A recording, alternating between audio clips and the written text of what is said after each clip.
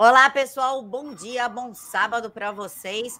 E novamente o doutor Renato aqui, que vocês adoram e passam a semana inteira perguntando para mim nos comentários. Doutor Renato vem sábado, né? Sábado vai ter aquele vídeo com o doutor Renato. Vocês vão manter os vídeos de sábado? Sim, pessoal. Aqui está o doutor Renato para nos informar, mas também para trazer paz e esperança. Doutor, muito obrigada por aceitar falar com a gente.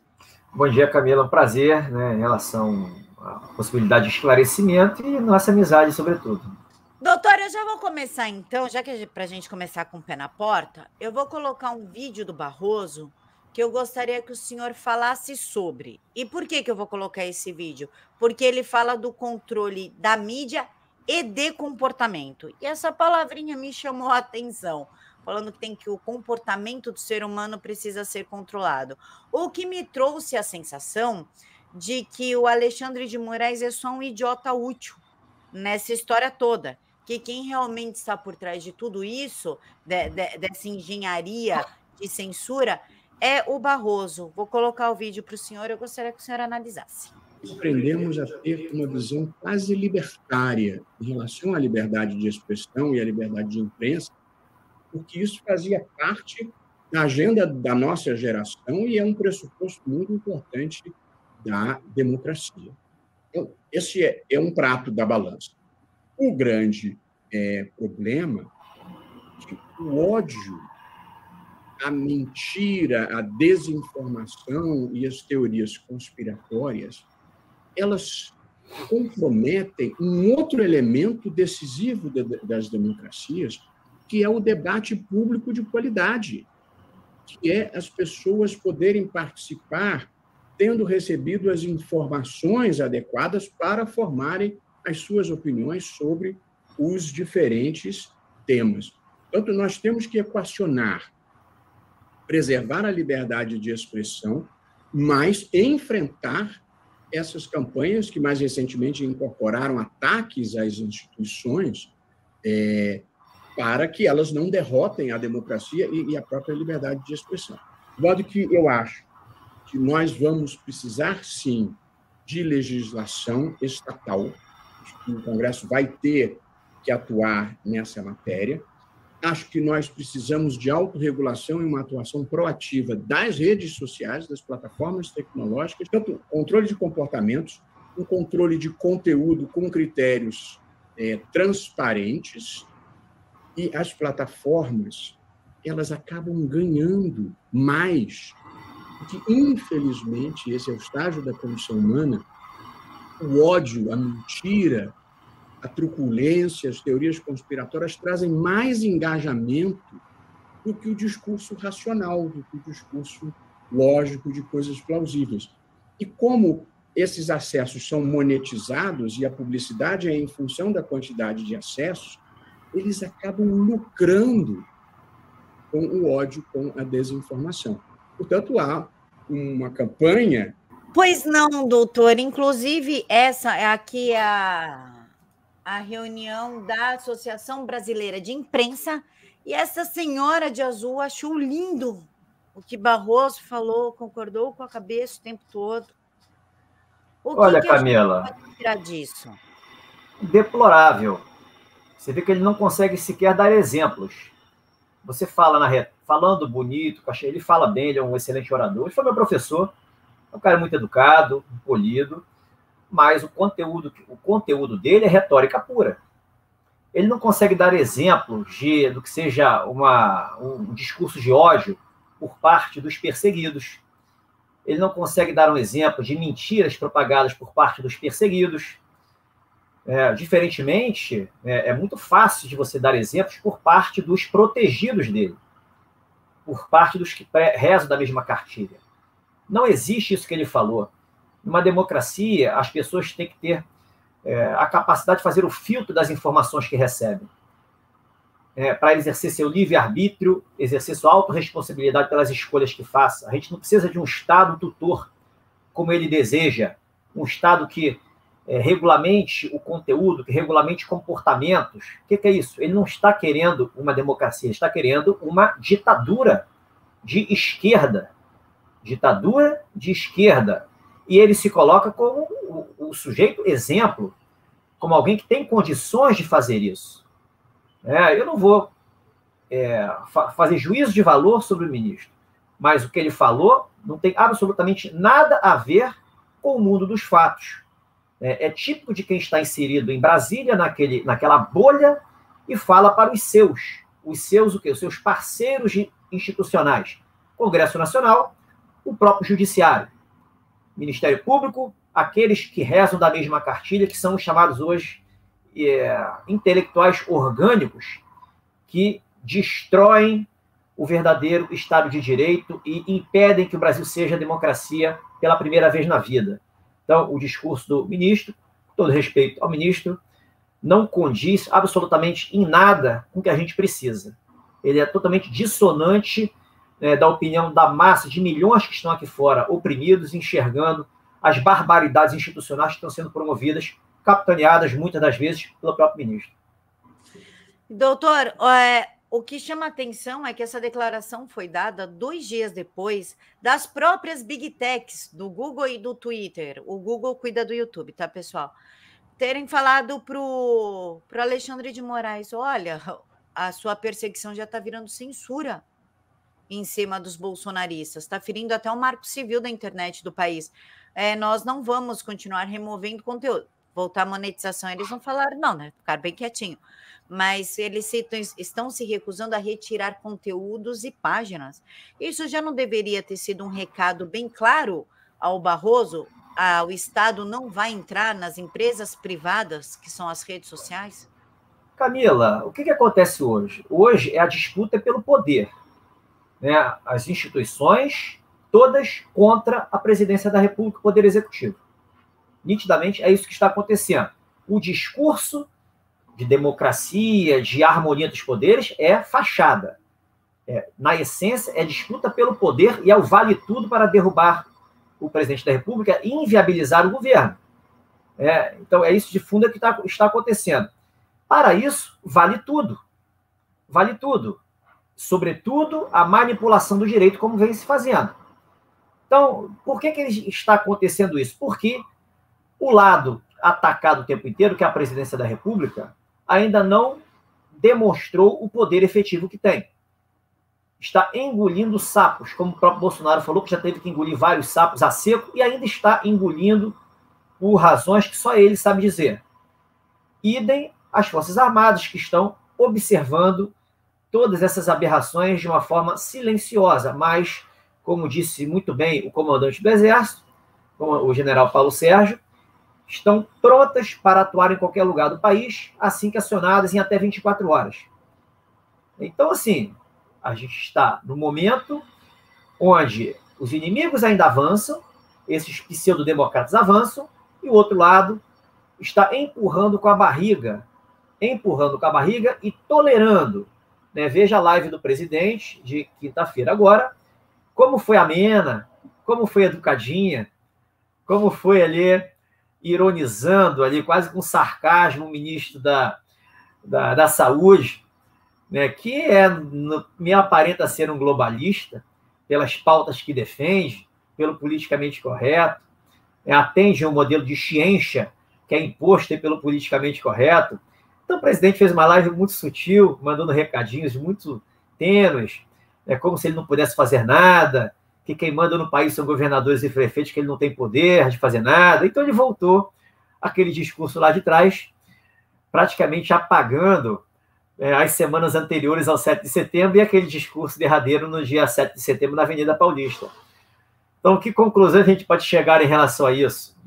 Né, o Bolsonaro deu uma amenizada, né, o outro lado, agora, teoricamente, viu, se já considerava o presidente um bravateiro, agora ainda considera um bravateiro e eles estão mais confortáveis para continuar de uma forma mais sutil nos avanços contra as liberdades, né, até que eles tomem uma rasteira do presidente, literalmente, das Forças Armadas, e o cenário volte aquilo que deveria ser lá do início e que nunca foi.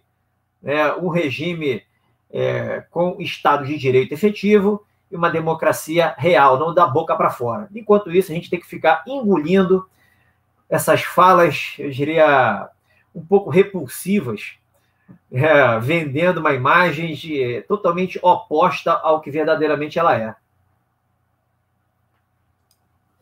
O senhor falou no, no tom do presidente. Ele pode ter até abaixado o tom, mas a prisão do Oswaldo Eustáquio foi revogada, né? Isso não Sim, é mas é o, o tal do, do, pacto? Não, Camila, eu não vejo isso como acordo, não. Né? Houve um, para mim, foi um recuo estratégico. Acordo, o judiciário fazer acordo, seria uma confissão de que estava andando fora da linha, estava andando politicamente cometendo aberrações. A gente sabe que eles fazem isso, fizeram e fazem isso. Mas o, a, o reconhecimento de um acordo seria isso: autoconfissão de culpa, de responsabilidade, melhor falando. Por outro lado, é, o presidente ter se rendido também não, não cola, porque ele tem a força real, que é a força militar e a força popular. O restante é fachada. É, os inimigos não têm força, eles dominam completamente a narrativa, impõem o medo, é, mostram uma pseudo-força com base nos abusos promovidos ali pelo agente da Polícia Federal, por governadores e prefeitos usando de policiais militares e guardas municipais, é uma, sempre uma parte das instituições. Então, rendição não houve, porque quando a presidência da República usar a força que tem, isso acaba. Só pode ser, por exclusão, um recuo estratégico. É, aí, me apegando às palavras do presidente, que a gente está, está numa guerra, sendo atacada por dentro, sabe onde está o câncer do país, venceremos, população consciente, população já está consciente, 7 de setembro demonstrou isso. A fala dele na ONU, apenas fazendo constatações óbvias, mostrando do cenário que a gente vivencia aqui, onde as pessoas clamam por liberdade, mostrando que nós somos é, independentes, soberanos, quando se retratou o Brasil como exemplo de que trata do, da forma como trata do ambiente.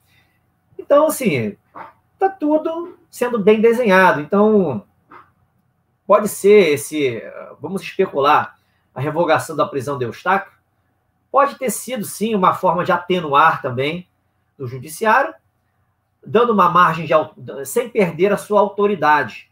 Fa, faz uns avanços né, em relação a outras coisas, aí volta atrás em relação ao que tinha feito, que era foco de ataque do presidente. Você demonstra um poder né, sem é, ficar desmoralizado. Então pode ser sim. Né, por que não? Então a gente está especulando aqui, não tem como afirmar isso, porque envolve adivinhação de intenções com que cada um faz, a, cada um age, né? Mas, assim, o tempo vai dizer, né? O tempo desmascara tudo. Todas as falcatruas viram à tona. Renato, eu vou colocar os vídeos lindos. Sim, achei uma, sensacional uma manifestação pacífica do MST dentro da Bolsa de Valores e o silêncio do do Supremo, né? Não pediu desmonetização, não pediu bloqueio de PIX, não abriu investigação, nada. Eu gostaria que o senhor comentasse a respeito da, dessa manifestação de pessoas recheadinhas lutando contra a fome, quando eles é, lutaram pela economia, a gente vê depois, né? Fica em casa, a gente vê depois. Então, eu vou deixar só rolando o vídeo, sem áudio, e o senhor comenta. Primeira coisa é o seguinte: por que, que isso acontece? Porque as polícias estão desprestigiadas. Estão desprestigiadas, né? Essa vitimização do criminoso e a desvalorização do policial, né? e desvalorização com aval implícito, no mínimo implícito, dos governantes, fazem com que isso aí seja tido como normal, é, que a polícia não possa chegar e fazer o dever de casa dela, agir como se trata criminosos, que isso aí são vândalos, são criminosos. É, então, esse é o primeiro ponto. Segundo, é conveniente permitir que esse pessoal faça isso se valendo da narrativa de, democrática. É porque é um pessoal que intimida, que inibe e tem a certeza da impunidade. Serve como massa de manobras. Né? Para qualquer disputa ali é onde a esquerda está envolvida, as narrativas, esse pessoal é o primeiro a ser chamado para mostrar ali as intenções de fundo, né, que são inconfessáveis. E eles aparentam aí, alegando nesse caso, que é combate à fome, combate à inflação, atacando os capitalistas, né, mais ou menos essa, essa bobajada. Então, considerando o Brasil hoje um estado de não direito e insegurança jurídica crônica, é, nenhuma surpresa. E curiosamente é o seguinte: há grandes empresas que, de capital aberto que participam é, da Bolsa de Valores que são progressistas, que defendem essas pautas progressistas. Então, Acredito que eles, eles visitaram ali o lugar certo. Mas, doutor, essa aglomeração do bem aqui pode? Galera tudo aglomerada, espaço fechado. Isso pode? Quando convém, pode. Hum. Isso não demonstra, doutor, não só para a gente, que a gente sabe que é mesmo, mas para a sociedade em si, é, os dois, um peso e duas medidas que o Supremo está fazendo, a esquerda pode tudo, pode barbarizar o país e a Bolsa de Valores, e a direita não pode fazer uma manifestação pacífica, seria uma forma de chancelar uma violência dentro do país? Olha, eu diria que o Supremo fez certo em não perseguir esse pessoal.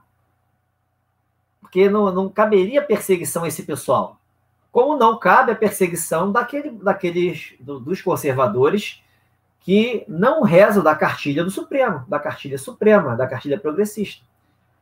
Então, não é porque esse pessoal agiu errado que o inquérito, esse inquérito que eu chamo de criminoso, que está em vigor, deveria perseguir esse pessoal. Então, eu não vejo isso como erro do tribunal. É, por mais que se, é, se a gente buscar justificativas para perseguição, esse pessoal age muito mais fora do direito do que os conservadores foram perseguidos, até porque os conservadores não agiram fora do direito. Né? Os que se excederam cometeram injúria, uma calúnia, uma difamação, são crimes contra a honra. Né? Você abre inquérito, você entra com uma queixa-crime é, e não dá prisão. Não dá prisão. Né? No máximo uma cesta básica, uma multa, né, uma, uma, depois uma indenização por danos morais, jamais justificaria deixar alguém preso por causa disso. Entendeu? Então, assim, eu diria que nesse caso, o Supremo agiu certo em fazer vista grossa, apesar do que eu estou falando aqui, com motivação contrária. Foi, foi certo porque não cabe ao judiciário perseguir com base no inquérito criminoso. Sim, não, não, não cabe perseguir ninguém, né? Ninguém. Isso é um absurdo. Ninguém. Mas o que eu estou falando é dessa, dessa dúbia decisão. Ah, o pessoal do agro está com o dinheiro bloqueado até agora. Eles bloquearam para o 7 de setembro, o pessoal da soja, e está até hoje. Não devolveram mais o dinheiro da galera. Mas a esquerda pode tudo, inclusive receber dinheiro da China. É, é isso que eu estou perguntando. O Supremo está mandando a visão para a sociedade de que é muito melhor você ser da esquerda, ter a liberdade e até é, estimulando um tipo de violência do que ser da direita e só perder? Eu vou me valer da linguagem do, das palavras do ministro Fux. O Supremo preza pela democracia, pela democracia aos olhos do que seja isso pelo Supremo. Então, se a gente tentar decifrar o que é a democracia do Supremo, só olhar para o Brasil hoje. Então a gente vê essa democracia que o Supremo deseja. É, mas isso aí está com dias contados, Camila. Eu estou tão tranquilo em falar isso. Eu falo que você está maluco, você está sonhando, olha o que está acontecendo, exatamente por isso. Quanto pior fica, mais rápida a mudança. As coisas não têm como piorar mais, muito mais, antes de acontecer algo. É lei da vida isso, as pessoas têm que, ter, têm que começar a perceber isso, é lei da vida. Né? O universo é harmônico, não é harmônico por acaso. Quando acontece uma tragédia, um terremoto, um tsunami, logo depois as coisas voltam à normalidade, dá tempo de você reconstruir a cidade toda que foi destruída. É, a, a, aquele caos não perdura ao ponto de deixar as pessoas ali passando necessidade. As coisas vão se ajustando. É a lei da compensação, é a lei da vida. Olha como o Estado está hoje, olha como a sociedade está hoje, olha como as pessoas estão. Olha as gerações foram perdidas, as pessoas estão adoecidas. Isso tende a se equilibrar a partir de agora. Por que, que Bolsonaro foi eleito sem dinheiro contra tudo, contra todos, sofreu ataques o tempo inteiro e não cai? Não cai, está cada vez mais forte em popularidade, em razões em cima do que ele falou lá atrás e se confirmaram aqui. Isso não é de graça. Ele apanha o tempo inteiro, está cada vez mais forte. E esse sistema que se achava forte, batia o tempo inteiro, está cada vez mais definhando. Eles têm uma força aparente. Isso é o quê? Lei da compensação. É sutil isso. Mas pode ver o que está acontecendo. A população lá atrás estava muito menos consciente do que está hoje.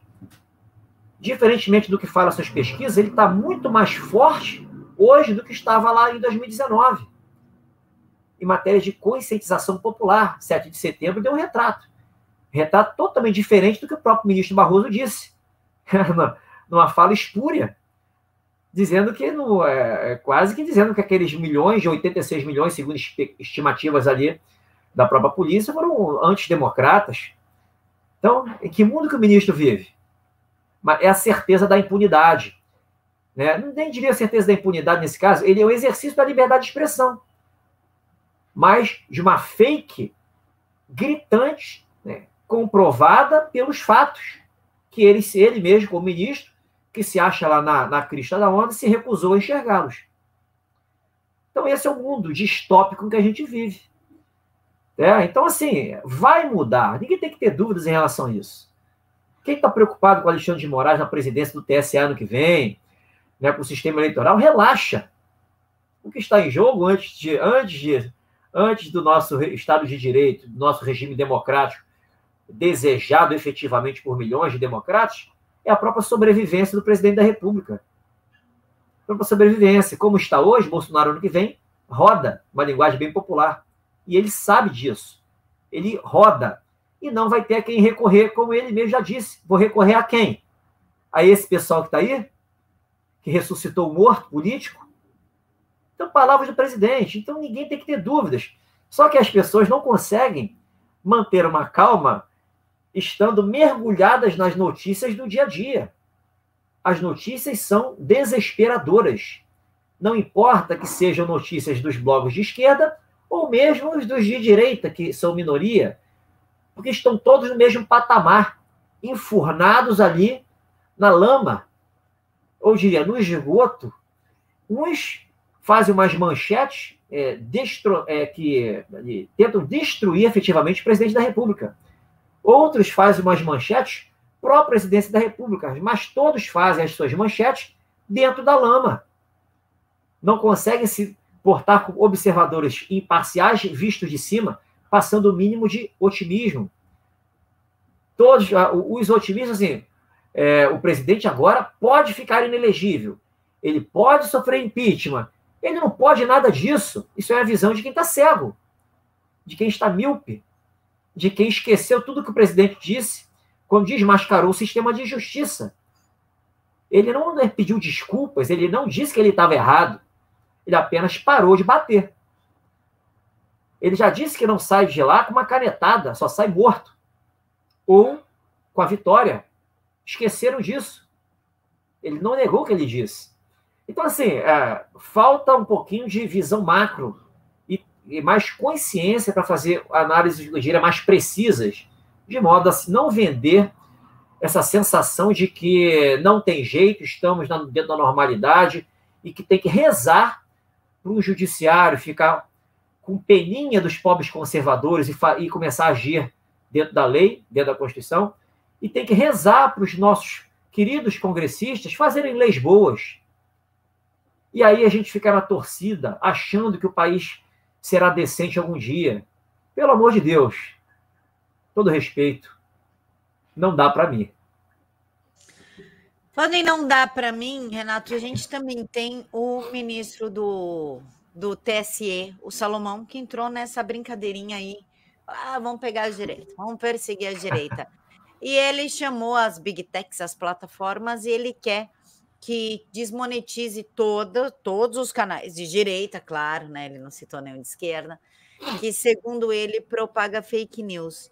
Até onde essa brincadeirinha vai? E fica a pergunta: a maioria de nós, eu inclusive, o senhor, tudo, é, usa o dinheiro do canal para sustentar a família, ou seja, é um trabalho lícito que todo mundo está vendo que a gente está fazendo, ninguém faz nada por trás, tem acesso ao quanto a gente ganha, existe aí a plataforma Social Blade para isso, é, e eles ainda insistem em falar que isso é criminoso. Até onde é que vai esse joguinho e até quando nós vamos conseguir pagar as contas? Não há vácuo no exercício do poder Sim, quem tem o poder para exercer não o faz, alguém vai ocupá-lo. É o que está acontecendo. Por que, que se faz isso? Porque não há obstáculos. Não há obstáculos. É proibida a censura. É proibida a penhora de rendas que servem ao sustento, são verbas alimentares. A liberdade de expressão é plena, sendo garantido ali a indenização por danos morais em caso de ofensas, ou seja, injúria, calúnia difamação. É, existe o devido processo legal, é proibido tribunais de exceção, é proibido um juiz que se sentir vítima, ele mesmo processar, ele mesmo avaliar as provas, ele mesmo condenar, ele mesmo executar a pena. É, então, tudo isso é proibido. Mas que, por que, que ah, proibido em termo? Para mim vale. Eu sou acima da lei. Eu que digo que é a lei, porque o direito é o que está na minha cabeça. Afinal de contas, eu não preciso justificar os fundamentos da decisão, não preciso ser coerente, não preciso contextualizar de uma forma é, a não omitir fatos, a não deturpar dados. É, eu não sou obrigado a rebater objeções. Então, qualquer coisa que eu decidir, eles têm que engolir. Porque a minha jurisprudência diz que eu não preciso fazer nada disso. Está escrito lá no Código de Processo Civil e Código de Processo Penal que eu preciso fundamentar direitinho. Não, mas aquilo ali eu que digo o que significa. Então eu faço o que eu quero. Faço o que eu quero. Né? A suspeição não vale para mim apesar de eu ser inimigo da parte, das partes que eu não gosto delas, que elas são conservadoras, são abusadas, elas me afrontam, elas me criticam. Né? Eu também tenho interesse nessa causa, porque eu sou progressista, eu sou iluminista. Por que, eu vou deixar o conservador? Não, são milhões de otários, milhões de idiotas úteis aí, que vão para as ruas das manifestações levar bandeirinha. Bandeirinha, carrinho de bebê e vuvuzela. E eles querem que a gente mude? Não, deixa eles lá. Deixa eles nessas manifestações aí, que vale a gente aqui. Então, por que, que eu vou mudar? Eu vou desmonetizar tudo. Inclusive, eu acho que eu vou mandar bloquear o salário do presidente da República, arrancar a segurança, a segurança dele. Que está muito ruim, cara. A gente não consegue pegar o presidente. Ele fica falando besteira naquele cercadinho cheio de fake news. Né? Até quando a gente vai conseguir isso? Vai ter que aceitar isso? Não dá. A gente tem que ir para cima do presidente da República. Aí fica mais legal a brincadeira. Quando acontecer isso, quem sabe o exercício do poder contrário se manifesta e tudo volta antes, dentro do que a Constituição ali prega, né, que a gente vive no Estado democrático de direito, ou deveria viver. Mas eu tenho certeza, Camila, que não chegará a esse ponto. Né? O embate com o presidente da República ficou na abertura desses inquéritos, irá morrer por ali. Não vai passar disso. Né? Eu, a minha, eu diria, a minha íntima certeza é, por que, que o presidente da República empurra com a barriga? Tem a ver, algo me diz, com o que está acontecendo nos Estados Unidos, agora com a divulgação lá das auditorias, e vem coisa por aí, né? Eu não, não abro mão dessa minha, eu diria, uma análise intuitiva, né? uma expectativa, né? porque está tudo muito, muito estranho, muito estranho. Então vamos ver, pode ficar tranquilo, está ruim agora, Pode piorar um pouquinho, mas o final será feliz. Deus te ouça, Renato. Inclusive, já que estamos falando aí de decisões estranhas e vácuo do poder, o Barroso ele proibiu missionários religiosos em entrar em terras indígenas a pedido do PT. E ele fundamentou falando que era pela saúde. E nós sabemos que isso não tem nada a ver, já que os missionários já estavam lá. Então, tipo, ficou lá 2019, 2020, 2021 até setembro, e agora não querem mais. Esse é o ódio do, do STE, do Barroso, né? Não vamos usar a instituição, senão eu sou presa. Mas do Barroso e do PT contra o cristianismo, qual é o interesse de manter os índios longe do conhecimento da palavra, por exemplo? Olha, as intenções de fundo eu não entraria nesse mérito, que eu não, não consigo entrar na cabeça do ministro e dos esquerdos. A gente pode especular, mas eu não vou entrar nesse mérito. Tá? Assim, eu, pelo que eu li, os, que já, os missionários que já estão lá dentro permanecem lá dentro. Ele impediu entrar missionários novos, alegando que vai proteger a saúde dos índios, como se ele fosse. Mas ele é cientista, ele impõe a ciência dele. Né? Quem somos nós para questionar a ciência iluminista? Ciência iluminista, ou até meu sotaque carioca até ajuda, né? É a ciência iluminista. Não somos nada. Liberdade de ir e vir também não importa, porque eu sou iluminista. Eu digo até onde você pode ir no território. Eu digo o que é saúde. Eu consigo enxergar, a minha visão é de Superman. Eu consigo enxergar o bichinho no ar e eu sei que os missionários irão levar os bichinhos para os índios, para as ocas, ou para as tocas. Ocas é lá do, lá do, do Ártico. Então, eu sou iluminista, eles não vão entrar. Deixa lá Papai do Céu, eles rezam lá para Papai do Céu, para o pajé deles. Não precisa de missionário, deixa os missionários do lado de fora. Eu não quero e ponto final. Eu manipulo princípios, eu sou pós-positivista. Eu faço a lei. Afinal de contas, para que as leis se eu tenho a minha moral? Esse é o pós-positivismo. Para que leis se eu tenho a minha moral para dizer o que as leis são? Esse é o chamado realismo jurídico na versão, eu diria, barrosiana do século XXI, já na terceira década do século. Manipulação espúria de princípios. Você falou decisão fundamentada, essa decisão não foi fundamentada. Isso aí só é fundamento para incautos e para aqueles que avalizam esse sistema, eu diria que levará a sociedade àquela mudança que milhões esperam e que estão frustrados pela mudança ali politicamente correta do Bolsonaro. A gente vai aguardar o final dessa história, vai ser bem interessante. Renato, já que estamos falando de ciência, eu nem ia colocar isso na pauta, mas só, só uma breve visão sua a respeito disso.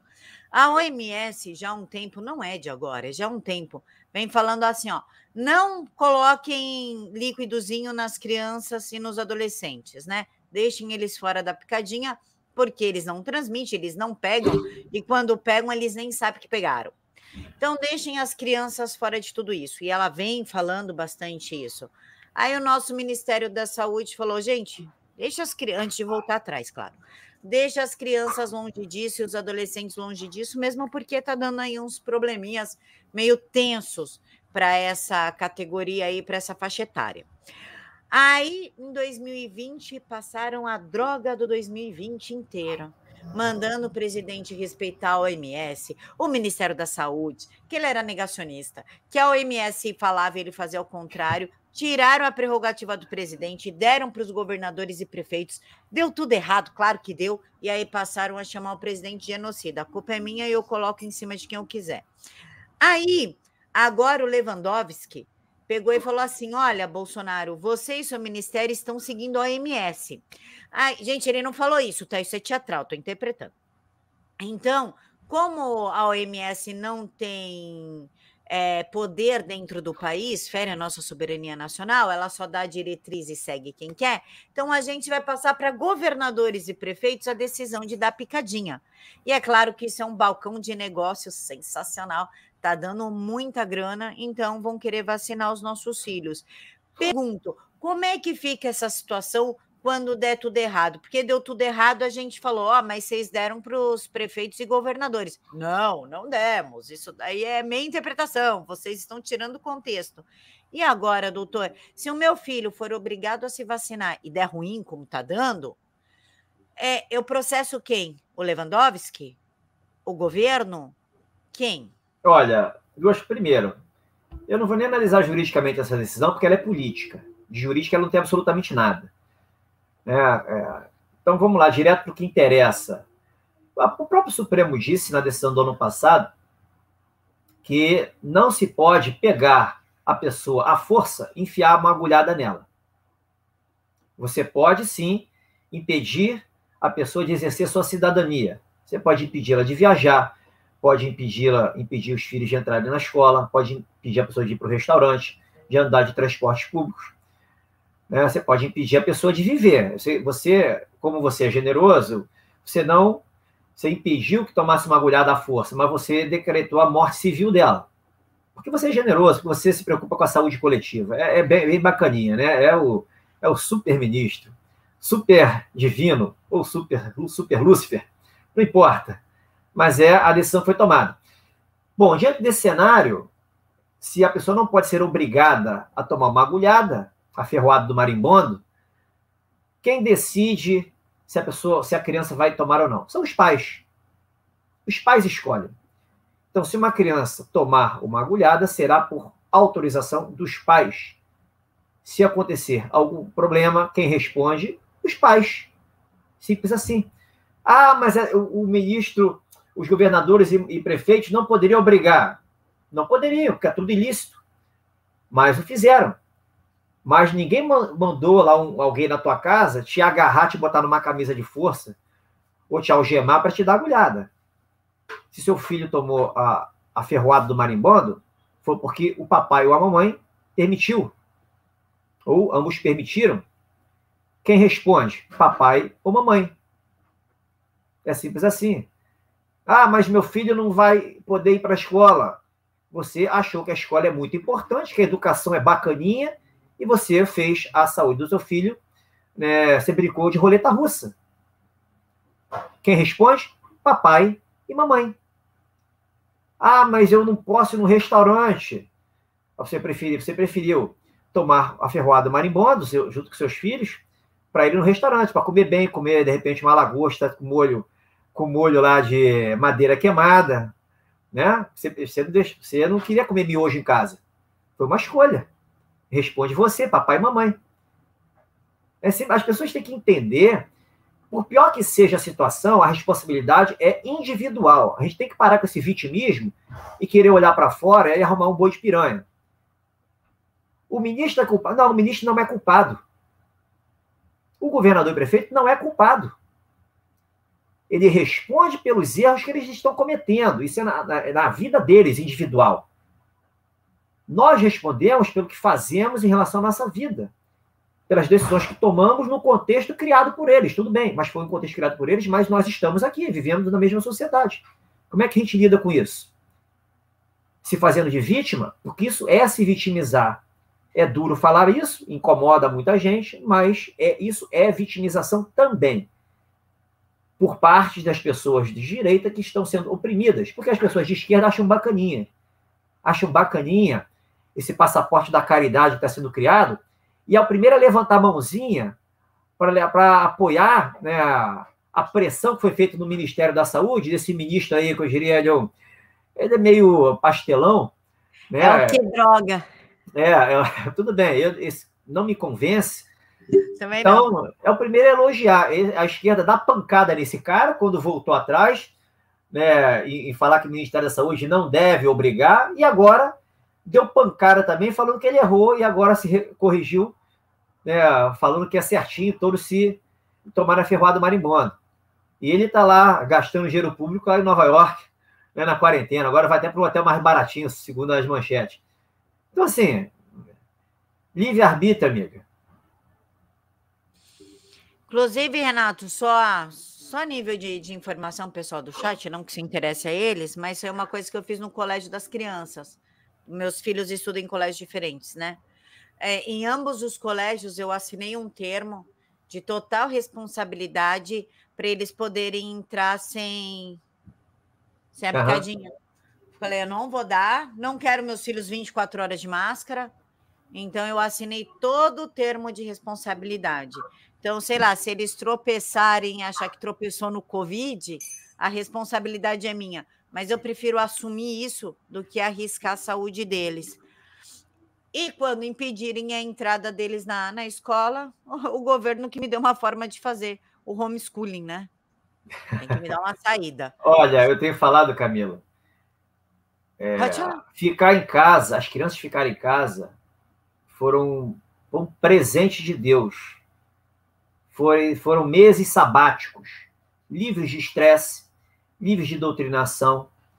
Né? São matérias inúteis que são, são ensinadas, coisas desconexas uma coisa com a outra. As crianças são estressadas a forma como, a, com a, como a cobrança, as cobranças são feitas para a vida. Tudo supérfluo. A gente não aproveita praticamente nada disso daí. Então, assim, é, infelizmente, é a, minha, é, é a minha visão é essa, mas infelizmente eu vejo porque eu vejo com uma visão, a minha visão, como assim, para mim, adequada, muitos milhões, a maioria pensa diferente. Porque se vendeu a ideia de que essa educação é a educação fundamental para a nossa vida. Você tem que ter essa formação básica até o segundo grau, hoje até o ensino médio, senão você não anda, você não decola na vida, você vai passar necessidade. Isso é uma mentira. Isso é fake. Isso é crença limitante. Crença é, que impede a gente abrir nossos horizontes e fazer diferente, buscar exatamente e seguir aquele caminho que nossa consciência manda, que nossa vocação, nossos, nossos talentos mandam. né, o clamo para que a gente se aproxime dessa outra, dessa outra forma de vida. Então, assim, eu enxergo dessa forma, ano sabático.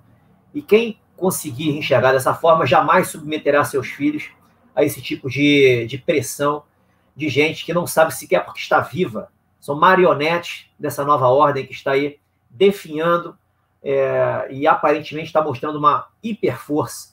Né? Mas isso aí são atos de desespero que vão acabar, eu não tenho a menor dúvida de estar falando isso. Inclusive, Renato, é, o ano passado, aula de artes na minha mais velha, computador do meu lado, o professor pediu para eles fazerem uma cruz, nem lembro qual foi o contexto, mas assim, façam o que vocês quiserem com a cruz, usem a criatividade. Falei, de jeito nenhum. Não, mas é trabalho de arte. Eu fiz, faz um coração, faz uma estrelinha, cruz não. E reclamei na escola. E a escola deu um outro coração mesmo um outro objeto. Eu perguntei para a escola, fiz que absurdo é esse ensinar uma criança a profanar a cruz, Jesus Cristo morreu. Da onde é que vocês tiraram isso? Ah, é trabalho barroco. Ai, mãe, era um trabalho barroco. Eu fiz assim, tem outras representatividades, não precisa ser a cruz. E eu achei tão simbólico, ah, peguem a cruz e façam do jeito que vocês quiserem. Na minha casa, não. Não, na casa dos outros faz tudo bem, na minha isso não vai acontecer. E os pais parecem que não estão acompanhando. Renato, para a gente finalizar, o Dória, a gente tem que falar do, do agentezinho chinês, que eu gosto de falar dele. Ele que entregou a cultura agora, TV Cultura, que é uma televisão estatal, né, uma rede estatal, para as mãos da, de uns maiores grupos de mídia da China, ele também entregou uma obra de 1,5 bilhões para Queiroz Galvão, sem licitação, para terminar a Tamoios. A obra dos contornos da Tamoios foi entregue para a concessionária que pertence ao grupo Queiroz Galvão e que quer contratar sua própria construtora para a obra. Antes de eu pegar a opinião do senhor, deixa eu só explicar o que é a Tamoios. A Tamoios é uma, uma estrada que liga São Paulo ao litoral norte, né? Litoral sul, Caraguá, São José, essa parte daqui. Aí o que, que acontece? A gente vem pela Dutra, que é federal, e que é sensacional ali. Você paga o, o pedágio com débito, crédito, dinheiro, boleto, você nunca fica parado na catraca. E tem a Datamoios, que é estadual, você só paga ou dinheiro ou cheque, ou seja, ninguém mais usa cheque quando dá problema no sem parar. E você é obrigado a ficar lá parado, porque se você evadir, eles te multam. Então você depende do coleguinha que vai passar atrás se ele quer te dar três reais para pagar o seu pedágio. Isso sem contar que essa obra já dura há anos. Sem brincadeira, mais de 15 anos. Parece que eles fazem a tamoios, aí eles quebram e refazem. O que, que pega para o Dória, doutor, neste caso? E outra, o Dória e o Alckmin se uniram lá na, na Assembleia Legislativa de São Paulo, aqui na LESP, para não deixarem abrir a CPI da Dersa, que mostraria toda a corrupção dentro do PSDB. Isso na quarta-feira. E na sexta sair essa história da licitação. Qual é o fim disso, doutor? O que a gente pode extrair disso? Olha, Camila, vamos, vamos abstrair um pouco, não vou nem entrar no mérito, né? A gente está num, num período onde toda a sujeira está vindo à tona. Todas as máscaras estão caindo, ninguém está sobrando. Você pode ver pessoas estão se mostrando nas suas, com as suas atitudes, não importa o setor onde ela trabalha, né? não importa se ela é famosa ou não é, elas estão, elas estão tendo que se mostrar de alguma forma. O que está acontecendo hoje na política, isso aí não é surpresa. É, esse, essa, essas coisas que estão acontecendo de contratos estão vindo à tona. Essas negociatas políticas estão vindo à tona. É, então, assim, é, isso tudo é ótimo, porque na mudança isso tudo vai acabar. O país que vem pela frente não terá mais espaço para esse tipo de coisas. É, o problema é que a gente está falando de uma forma abstrata e a gente está vivenciando isso há décadas. Não vê nada de concreto, de uma forma otimista, a gente não vê gente sendo presa, a gente não vê é, a violência diminuindo, a segurança pública sendo melhorada, a gente não vê justiça, a gente não vê nada que efetivamente preste, que faça nos orgulhar nos de sermos brasileiros. Então a gente só vê esse tipo de notícias. Por que, que essas notícias surgem? Por que, que isso acontece? Pela certeza, por que, que a certeza da impunidade é tão grande? Porque realmente existe a impunidade. Né? O que precisa acontecer para isso acabar? Então, assim, para mim está tudo no bolo, tudo no bolo, tudo no bolo. Né? Quando acontecer alguma coisa, isso tudo vai acabar. O Brasil será passado a limpo. É, a reindependência do Brasil foi o centésimo, nonagésimo nono aniversário. Iniciou agora e ela tem data para terminar né, nesse processo, que é 7 de, 7 de setembro do ano que vem. É um ano onde as coisas estão aparecendo e tudo terminará bem. Então, esse pessoal, eu estou muito tranquilo, vai pagar a conta. Vai pagar a conta. É, não dá nem para você analisar. Hoje, sinceramente, eu não tenho mais vontade de fazer análises pontuais jurídicas, porque é chovendo molhado. Adianta. Adianta. Uma análise jurídica bem feita vai persuadir alguém? Vai persuadir um juiz, um membro do ministério? Não vai. Porque eles agem em prol de uma causa. Em prol de uma. Eles não estão preocupados em aplicar um bom direito, em fazer um direito ser respeitado, em fazer um direito resolver os problemas que a sociedade precisa, né, em adaptar as teorias que eles aprendem para resolver, é, levar realmente uma pacificação social, a servirem de exemplo para um bom comportamento na sociedade. O Barroso mesmo falou em pautar comportamentos, em controlar. Falta exemplos. Isso aí se faz por exemplos, vindo de cima. Só que os exemplos de, vindos de cima são exemplos que instigam, instigam os instintos humanos dos mais nefastos, dos mais agressivos. Né? Então, é, é, uma bola de neve que eles estão alimentando, que no final das contas vai é, retornar contra eles. É o bumerangue, efeito bumerangue. Só eles não enxergam isso.